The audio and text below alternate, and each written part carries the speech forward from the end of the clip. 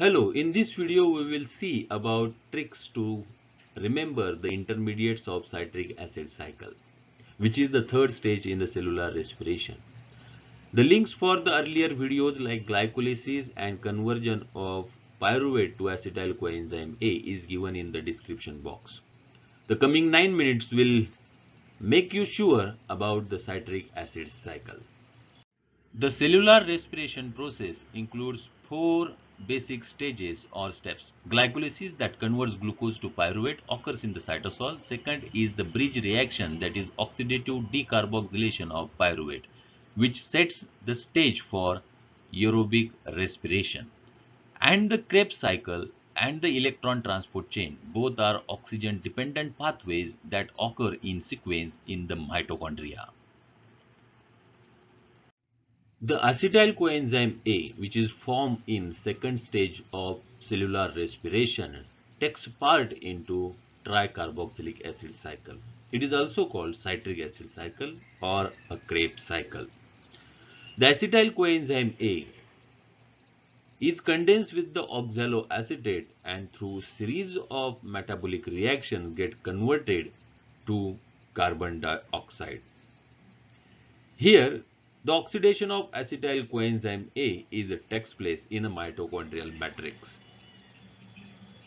And there is a formation of four reducing equivalents along with one GTP molecule. Remember that it is not a closed loop cycle as no any intermediate is directly involved or utilized inside the cycle. The oxaloacetate which is condensed with acetyl coenzyme A is again get resynthesized inside the cycle. Moreover, many intermediates can leave the cycle or can enter into the cycle as per the metabolic need and hence it is a very high traffic cycle. Let's see the overview of citric acid cycle. TCA cycle or the citric acid cycle is a common and final oxidative pathway for the metabolism of carbohydrate, amino acid and fatty acid. The acetyl coenzyme A is completely get oxidized to carbon dioxide. No any other intermediate is utilized inside the cycle. This cycle is takes place only in the presence of oxygen as there is no direct utilization of oxygen inside the cycle but the oxidized form of the NAD and FAD are utilized inside the cycle to form a reduced equivalents. So there is a regular supply of NAD and FAD is required which is comes from electron transport chain and that requires the oxygen and hence without oxygen the TCA cycle can't able to operate. All the reactions of the TCA cycle are occurred in the mitochondrial matrix. It has a close proximity to the reactions of electron transport chain. As said earlier, the oxidized form of the NAD and FADR get reduced inside the TCA cycle. And the last one, apart from the generation of reduced equivalents and the energy, it also helps in the synthesis of amino acid, glucose and heme. Here is a trick to recognize and remember all the intermediates of the TCA cycle. All of you know that in the morning we have a cup of tea or the coffee that stimulates us, that gives us the energy. And the same I have utilized to memorize the TCA cycle. And here is the trick. A cup of coffee is always provide strong stimulus and freshness in the morning. The letters which are in the red indicates all the intermediates of TCA cycle.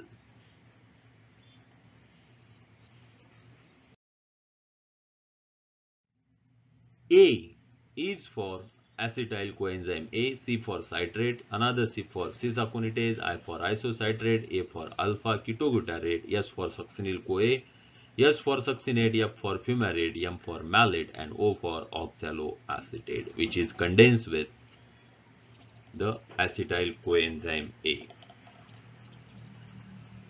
Moreover, the colors indicate here green color, orange color, gray color indicates here there is a formation of reduced equivalents and orange color there is a formation of GTP. Let's see that in the next slide. In the second stage, pyruvate is converted into acetyl coenzyme A by the action of pyruvate dehydrogenase complex, which is then condensed with the oxaloacetate and forms the citrate through the citrate synthase enzyme. Citrate then converts to cis-aconitase and cis-aconitase to isocitrate. The isocitrate here is responsible to form the first reducing equivalent that is NADH and also evolve one carbon dioxide molecule.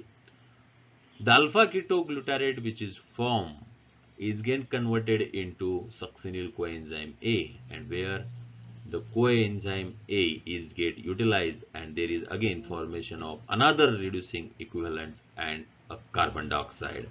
Succinyl coenzyme A then converts into succinate through succinate thiokinase enzyme and there is utilization of GDP converts into GTP.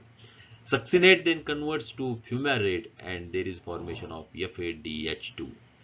Fumarate gets converts to malate and malate with the help of malate dehydrogenase enzyme converts to oxaloacetate and there is again formation of third reducing equivalent that is NADH. And in this way oxaloacetate is get regenerated. If you look at the cycle you can find out that there is a three NADH molecules are get formed. One is here, another is from alpha ketoglutarate and third one is from the malate to oxaloacetate and at all these three stages the enzyme which is used is a dehydrogenase. In the same way the FADH2 is generated the enzyme is a dehydrogenase. You have to remember only the three enzymes. One is the succinyl coenzyme A converts to succinate where succinate thiokinase is the enzyme. Fumarate to malate is a fumarase is the enzyme. Citrate synthase which is the first enzyme and aconitase and that's all you can able to remember all the enzymes and the reactions takes place inside the TCA cycle. Here are the reactions are get summarized. The first reaction utilize the citrate synthase as the enzyme.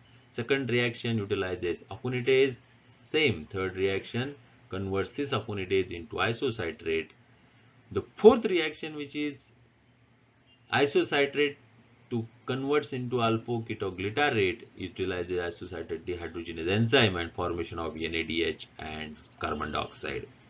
The same fifth reaction, sixth reaction generates the GTP molecule, seventh reaction generates FADH2 molecule, eighth reaction is fumarate to malate and the ninth reaction again oxaloacetate is get resynthesized which is utilized here in the first step and NADH is get formed. The energetics is given in the second slide.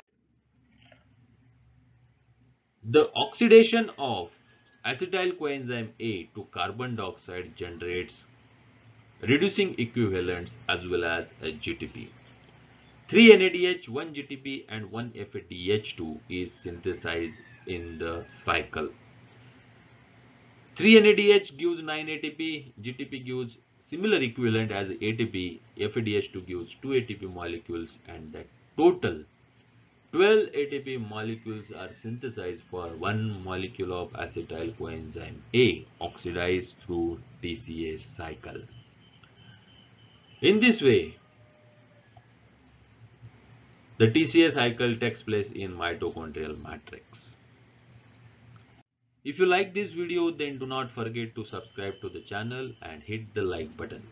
Also request you to share with your friends and students. Thank you very much. See you in the next video for the cellular respiration.